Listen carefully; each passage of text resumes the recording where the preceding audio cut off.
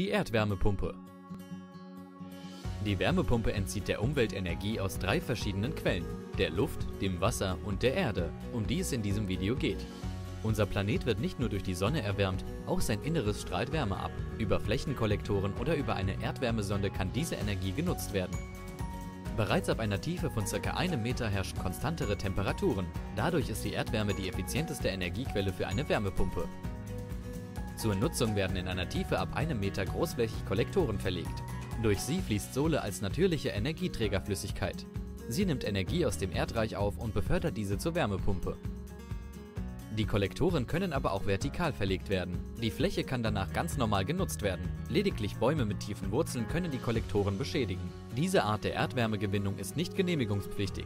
Das Grundstück muss nur über eine ausreichende Größe verfügen. Eine andere Art, um Erdwärme zu gewinnen, ist mit Hilfe einer Sonde. Für die Sonde wird bis zu 100 Meter in das Erdreich gebohrt. Am Ende befindet sich die Sonde. Danach wird Sohle vom Haus durch sie hindurchgepumpt und wieder zurückgeleitet. Dabei dient die Sonde im Sommer als passive Naturkühlung. Sie kühlt ihr Haus allein mit Hilfe der Umweltpumpen. So sparen sie Energiekosten. Aufgrund der Bohrung ist diese Art genehmigungspflichtig. Dabei helfen wir Ihnen gerne.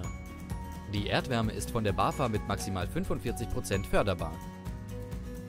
Sie ist wartungsarm, verfügt über eine lange Lebensdauer und sie kann im Sommer effizient zum Kühlen Ihrer Räume genutzt werden.